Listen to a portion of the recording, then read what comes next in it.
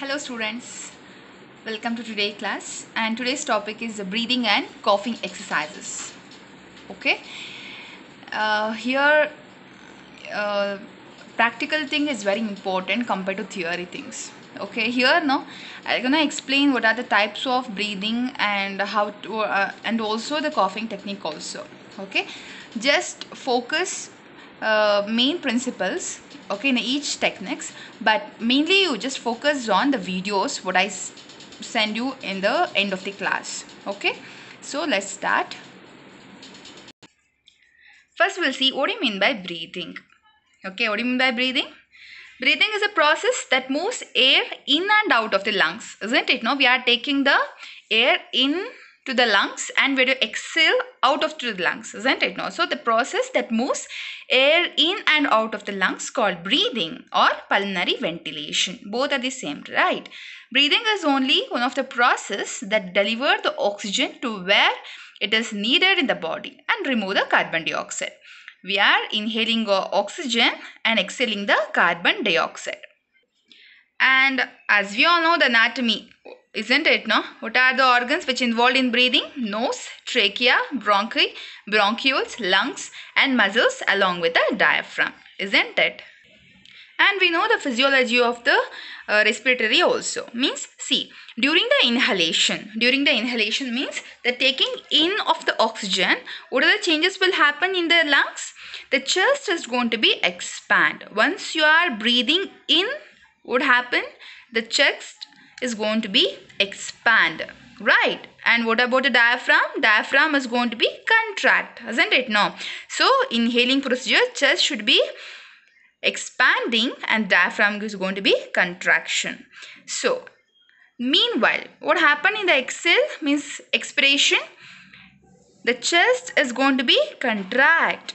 Diaphragm is going to be relax isn't it? No this is a normal physiology of the respiration now we'll see what are the muscles which involved in the respiration. Muscles of inspirations are diaphragm. Okay is a primary muscle isn't it? No diaphragm is a primary muscle of inhalation. Then scalene sternocleidomastoid then serratus anterior external intercostal muscles. These are the muscles which involved during the inspiration. And what are the muscles which involved in the expiration external oblique muscle and the recto-abdominal muscle then internal oblique muscle and the transverse abdominal muscles okay now we'll see what are the breathing exercises. Okay. Breathing exercises is nothing but we also call ventilatory training. Isn't it? No. Are the fundamental interventions for the prevention of the acute and the chronic pulmonary diseases for to whom? To the patients with a high spinal cord lesions okay and who underwent a thoracic and abdominal surgery and also for the bedridden patient isn't it? No? So the breathing exercises is the interventions for to prevent the or to cure or to uh, managing the respiratory disorders or the post abdominal surgery also. Clear no? So what are the goals of a breathing exercises? Why why we have to perform this breathing exercises and what are the goals? What are the aims of breathing exercises? First one is to improve the ventilation isn't it no? For improving the ventilation and increase the effectiveness of cough and promote airway clearance isn't it no? Once we are doing the breathing exercises no? It help the patient to clear his airway and also to prevent the post-operative pulmonary complications and to improve the strength, endurance, coordination of the muscles of ventilations and maintain and improve the chest, thoracic, spine, mobility, also promote the relaxation and relieve the stress also and to teach the patient how to deal with the episodes of dyspnea. What is dyspnea? Difficulty in breathing. Now we'll see what are the guidelines for the teaching the breathing exercise. What are the guidelines as a nurse we have to follow? First, choose a quiet area to get the proper interactions with a minimal distraction. Then explain the patient about aim and how it works for his impairment, isn't it? To explain the patient. Then have the patient in the relaxed positions and loosen the cloths. Make him in the semi-Fowler's positions with the head and trunk elevated approximately how much? 45 degree angle. Okay. The abdomen muscle become relaxed in that position. Then other positions we also use this supine positions we can use sitting positions we can use standing also based on the uh, patient condition. Okay. Now we'll see what are the indications to whom we have to teach the breathing exercises. The patients with a cystic fibrosis, what is a cystic fibrosis? A cystic fibrosis is a genetic disorder where the uh, the lungs becomes, the lung parenchyma become very hardened that going to be produce the thick mucus okay very thickened mucus uh, so that condition we call cystic fibrosis. Okay then the bronchiectasis. What do you mean the bronchiectasis? Means abnormal dilatation of the bronchus. What do you mean by atelectasis? Atelectasis is nothing but collapse of the air cells or collapse of a alveolus we can say. And also for the lung abscess and for the pneumonia cases and acute lung disorders also. And the patient with the spinal cord lesions and the COPD what is COPD chronic obstructive pulmonary disorders that include both emphysema and the chronic bronchitis. What is a bronchitis? Inflammation of the bronchus. What is meant by emphysema? Emphysema is nothing but uh, the abnormal dilatations of the air cells. Okay then after surgery abdomen or thoracic surgery also we have to teach the patients about breathing and coughing exercises. And for the patient who must remain in the bed you know bedridden patients isn't it? For them also we have to teach then for the relaxing process. For as a relax relaxation we can teach the patients about deep breathing and coughing exercises. These are the indications and the contraindications mean uh, now, now we'll see contraindications means to whom it should not be applicable. To whom means the severe pain and discomfort. The patient with a very severe pain and discomfort should not teach deep, deep breathing and coughing exercise okay? Then for acute medical and surgical emergency also we should not teach them. This is a contraindication. Then the patients with a reduced conscious level and the increased intracranial pressure for that patient also this deep breathing and coughing is a contraindication. Then unstable head and neck injury. Then the active hemorrhage with the hemodynamic instability and hemoptysis. What do you mean the hemoptysis? The blood stains which present in the you know vomit isn't it? No, it's called hemoptysis patient also we should not teach. Then the flail chest is abnormal condition of the chest. Then the uncontrolled hypertension. So these are the contraindication. Now we'll see what are the types of breathing exercises. Okay, mainly we have diaphragmatic breathing, glossopharyngeal breathing, pursed lip breathing and segmental breathing. What are those? Once again, diaphragmatic breathing, glossopharyngeal breathing, pursed lip breathing, segmental breathing or also called costal expansion exercises which have three sub exercises okay? One is a apical breathing lateral costal breathing and posterior basal expansion okay? See diaphragmatic breathing here we are the respiration or the breathing involve diaphragm. We are more focusing on this diaphragm. Where is diaphragm is located?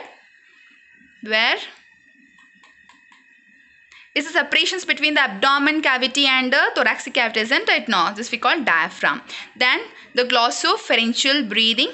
Pursed lip breathing means uh, the closing. So uh, once you are holding the straw, no, so you just imagination means just holding the straw in your mouth. Like that we have to close the mouth. That we call pursed lip. Okay then the segmental means for each segment of the thoracic cavity we are uh, giving a types of breathing exercises that we call segmental breathing. Now we'll see each one in detail.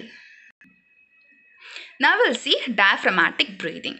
See diaphragm is a primary muscles for the breathing as we all know, right? Then diaphragm controls the breathing at an involuntary level. A patient with a primary pulmonary disease. So, so this diaphragmatic breathing is mainly for the patient with a COPD, then the tough breathing control, the patient with a tough breathing control and for the relaxation purpose also we can use this diaphragmatic breathing. Clear? Now we'll see the procedure now. So what we have to do, prepare the patients in the relaxed and comfortable positions in which the gravity assists the diaphragm such as the semifovulus position. So we have to give the uh, patient what position? Semifovulus position. So or we can give the lie down position also. Okay, supine positions also we can give. Then if you notice any accessory muscles activation, so if you are, uh, notice any difficulty the patient is facing, so tell the patient to relax himself okay? Tell them relax quietly. Okay? Then what you have to do? Place your hand over the rectus abdominis just below the anterior costal margin. So these things now i will show you in the video. Then what we have to do? One one hand should be placed on the upper margin of the uh, chest. And an- another hand just keep on the abdomen lower abdomen very simple okay? I will show you in the video then you came to know exactly. Then tell the patient to take deep breathe and very slowly okay? Once they have to take very deep and slow breathe tell the patient to expel the air in the controlled manner okay? So this is we call diaphragmatic breathing then you teach the patient to repeat the diaphragmatic breathing 2 to 4 times maximum. And keep it in mind it's not more than 4 times okay? After the practice of diaphragmatic breathing 4 times tell them to take 5 minutes break 5 minutes relaxation. Then after they can repeat the again the diaphragm, uh, diaphragmatic breathing they can breathe like a 2 to 4 times okay? So during the uh, respiration we have to be observe the chest movement. Okay chest movement we need to be observed very carefully. Okay in this diaphragmatic breathing once the patient is inspire the oxygen the abdomen is going to be expanded out. Clear no? I will show you in the video. Okay. Okay you see here. Here the patient is inhaling the air here this is where here the diaphragm will come. Where? Here the diaphragm will come isn't it? No? The abdomen is going to be extended. Clear? During the inspiration.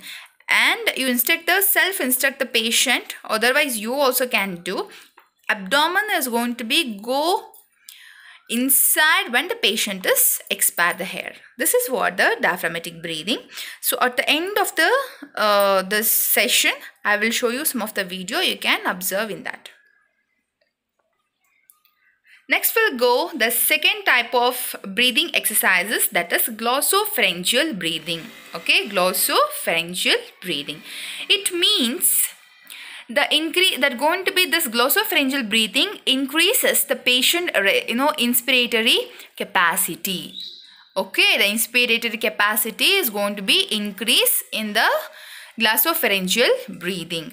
Okay so this glossopharyngeal breathing we can um, teach the patient with the cervical cord injury patient neuromuscular disorder patients and all. Okay this glossopharyngeal breathing with the inspiratory action of a neck muscles can reduces the ventilatory dependency or can be used as an emergency procedure for the malfunctioning of ventilator. Okay now we'll see how how to perform this glossopharyngeal breathing. It's very simple see. Instruct the patient to take a several gulp of air.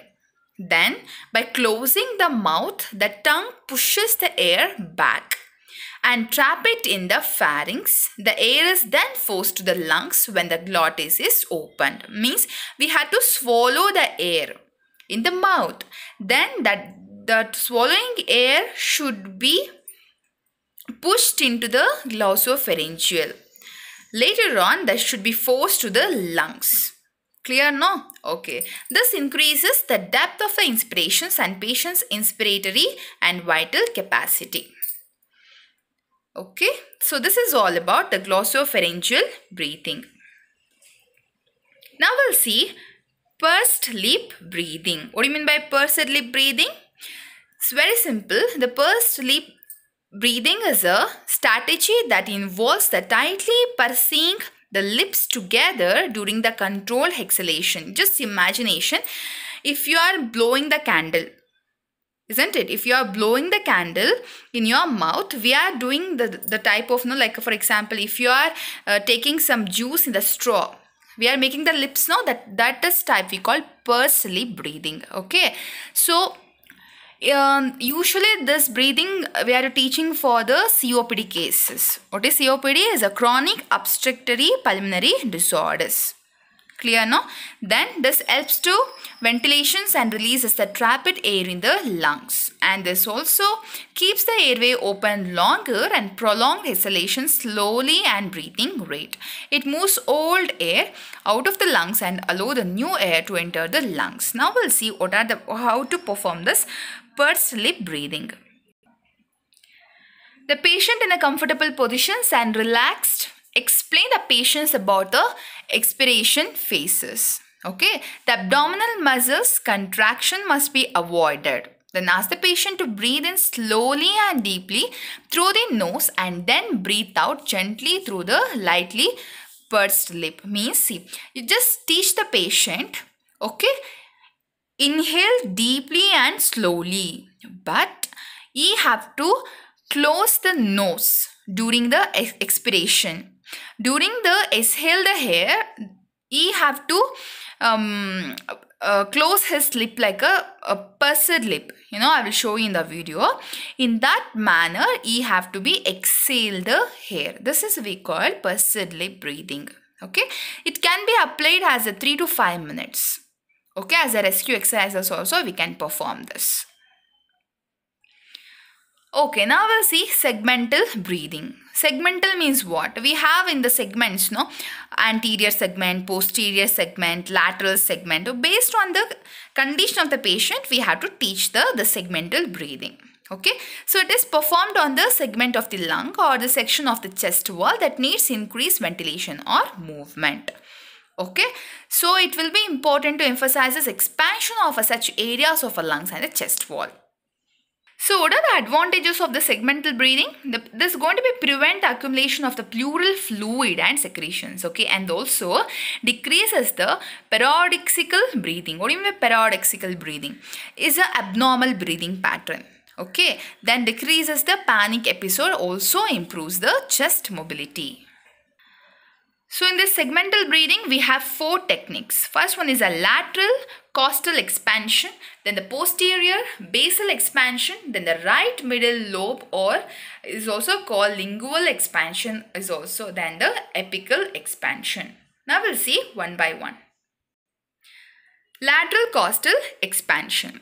Here this is sometimes called lateral basal expansion and may be done unilaterally or bilaterally. Unilaterally means one side, bilaterally means both side.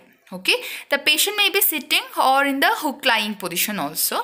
Then you have to be place your hand along the lateral aspect of the lower ribs.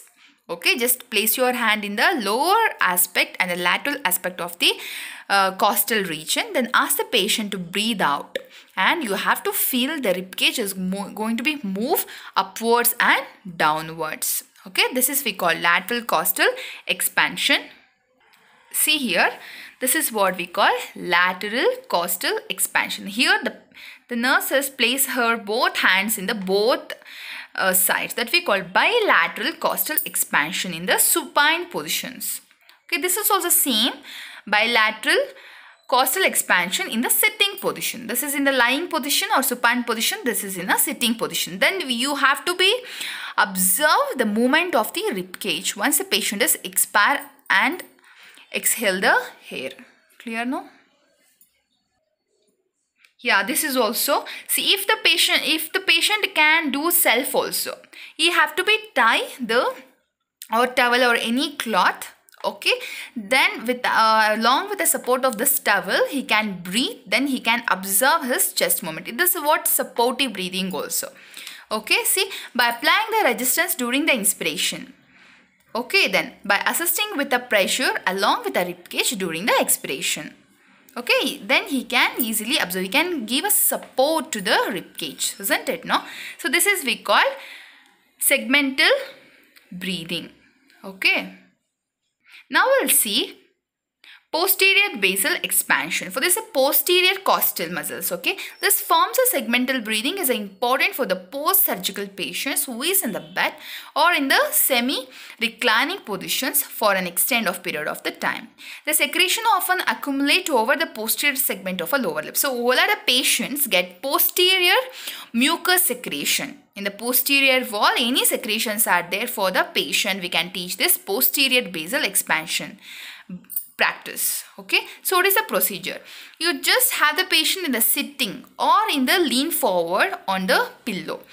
Tell the patient to sit then you have to be lean forward on the pillow slightly bending the hip okay? You have to lean forward on the pillow then place the patient hand over the posterior aspect of the lower lip and do the same procedure in the lateral costal la, lateral costal expansion. Same like a, a, lateral costal expansion only but the patient have to be lean forward on the pillow. Then you have to place your hand in the posterior aspect of the rib cage. Then tell the patient to uh, you know, inspire the hair and expire the hair. It, it's going to be uh, give a support isn't it no? That we call posterior basal expansion now we'll see right middle lobe or is also called as a lingual expansion. Here, when the patient is sitting, then place your hand at the either the right side or the left side of the patient's chest. Okay, best just below the axilla.